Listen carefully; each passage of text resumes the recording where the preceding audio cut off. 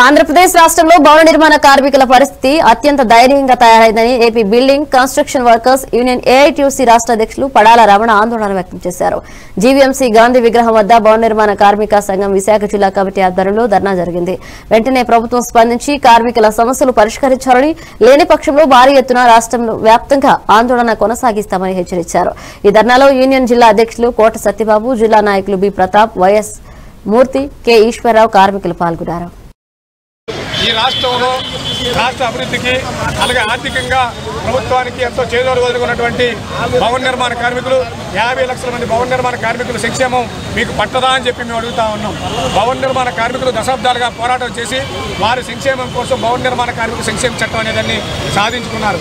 ఈ చట్టం ద్వారా అనేక సౌకర్యాలని కార్మికుల నష్టాల్లో కష్టాల్లో చట్టం బోర్డు ద్వారా లేబర్ డిపార్ట్మెంట్ ద్వారా అందుకునేవారు. ఈ రాష్ట్ర ప్రభుత్వం రెండు సంవత్సరాల క్రితం అధికారంలోకి వచ్చిన తర్వాత మొత్తం పూర్తిగా బోర్డులో ఉన్నటువంటి నిధులన్నీ కూడా గోల్మాల్ చేసి ఆ బోర్డుని పూర్తిగా ఎత్తేసి కార్మిక ప్రయోజనాలన్నీ కూడా సున్నా సాపు చుట్టేసేటువంటి పరిస్థితి ఇవాళ ఈ రాష్ట్రంలో ఉంది. మేము అడుగుతా ఉన్నాం జగన్మోహన్ రెడ్డి గారు మీ తండ్రి గారు పెట్టిన పథకాలకు తూట్లు పొడుస్తూ ఇవాళ తండ్రిని మించిన తల్లిగా ఉండాలని చెప్పుకోవడం చాలా సిగ్గు చేయడం విషయం. మీరు ఇప్పటికైనా పునరాలోచన చేయండి. భవన నిర్మాణ రంగంలో ఉన్న పనిచేసే కార్మికులు మీరు అనాలోచిత న్యాయం కారణంగా గతంలో గత సంవత్సరం ఇసుక ర్యాంపులన్నీ క్లోజ్ చేసి ఇవాళ ఉపాధి లేకుండా చేశారు. ఈరోజు కరోనా వ్యాప్తి రెండో విడత ఫస్ట్ విడత రెండో విడతలను ఉపాధి లేక కార్మికులు ఇల్లద్దులు కట్టలేక పస్తులు ఉండలేక పిల్లలు చదివించలేక నానా ఇబ్బందులు పడుతున్న పరిస్థితులు కూడా కనీసం జాలి దయ లేదు.